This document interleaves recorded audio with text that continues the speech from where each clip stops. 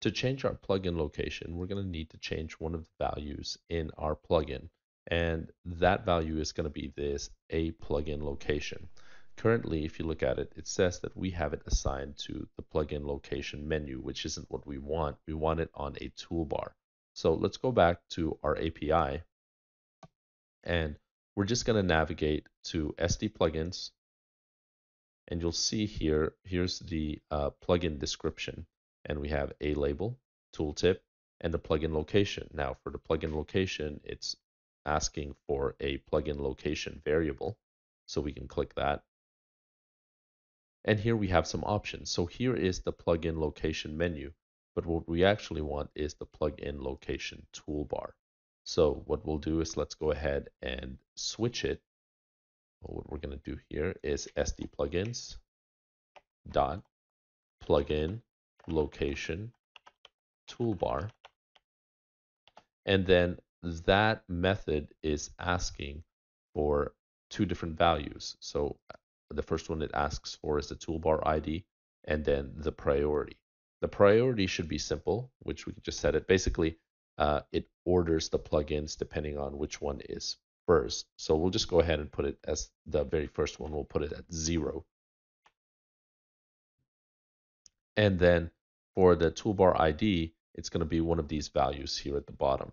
So what we'll do is we'll type in SD plugins dot and let's call one of these values. So it's going to be this SBS comp graph, right? Main is going to be the top bar. MDL graph is going to be if you have an MDL graph. But what we want is this comp graph. So I'm going to type in SBS comp graph. And that's it. So now instead of showing up in the menu, that plugin should show up. Oh, I'm sorry, not SBS comp graph we need to do toolbar id dot sbs comp graph. Uh, and let's make sure we get the capitalization right.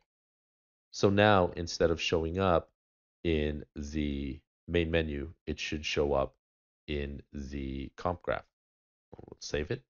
Let's hop back over to Substance Designer. It's going to ask us if we want to update. We'll say yes. We'll hit play and we've got a syntax error. And the syntax error is we need a comma at the end of this. So let's hop back over to Visual Studio Code. It's funny, uh, just as a side note, I actually re-recorded this and I made the same mistake twice.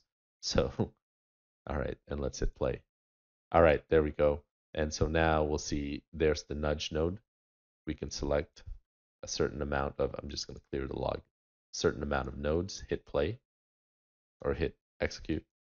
And there are the values of the nodes just to make sure we're actually getting solid data because right now this makes no sense to us. Let's actually execute a um, uh, a method. Let's go back to our um, uh, API and let's just get the SD node uh, I just know off the top of my head that's what that's what the the class is and let's just get something like get position, right? So what we're going to do is node dot get position.